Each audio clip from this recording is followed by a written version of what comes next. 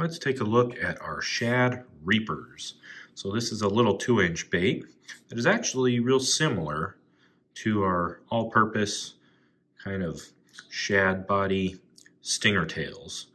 Um, with one major difference, you can see the stinger tail has a really twitchy little tail, which the slightest little movement will twitch and kind of go wild, where this Reaper has a leech-like tail. So this will actually catch kind of any microcurrent or uh, any little jigging action and just slowly wave in the current. So it's just a different type of action uh, for when the fish uh, are maybe a little more sluggish, a little more picky, and they don't want something so twitchy.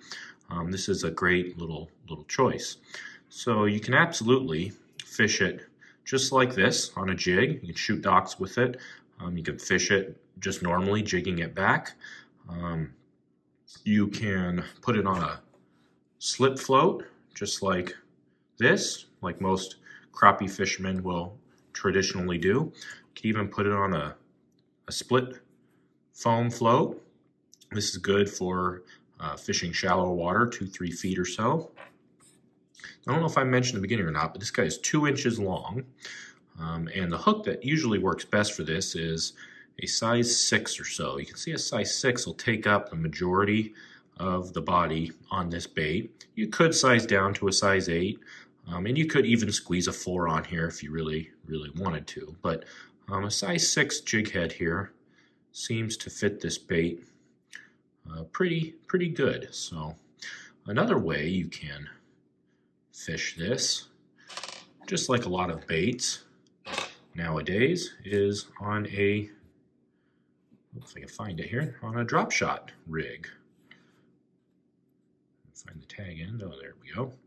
Got your weight and little owner mosquito hook pinned between a drop shot knot. We do have a video also on our YouTube page on how to tie this inline knot for micro baits. And for this bait, uh, a size 2, which I have here, it's about as big as you'd probably want to go. Um, a size 4 will also work just fine. Or any other similar type of little short shank hook with a straight eye or just slightly upturned eye would work just fine.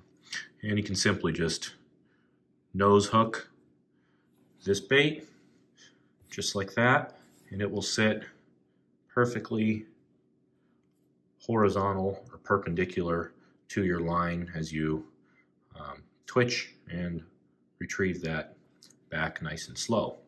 So great little bait.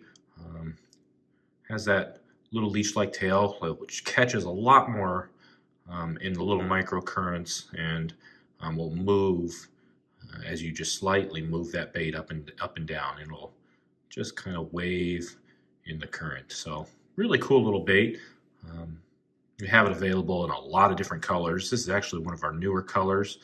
Uh, I've used it in some of our other videos. Really cool color. It's called Electric Watermelon.